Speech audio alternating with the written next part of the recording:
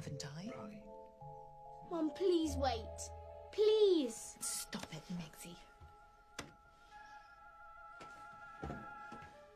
Those oh, shall be accepted and reserved. A mouse! A mouse under the chair!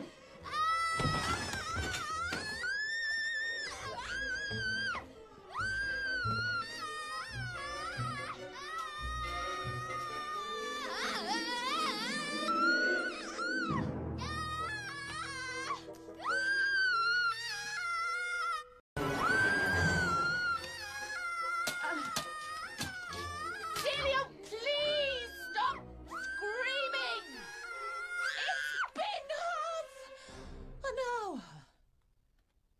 There is no mouse.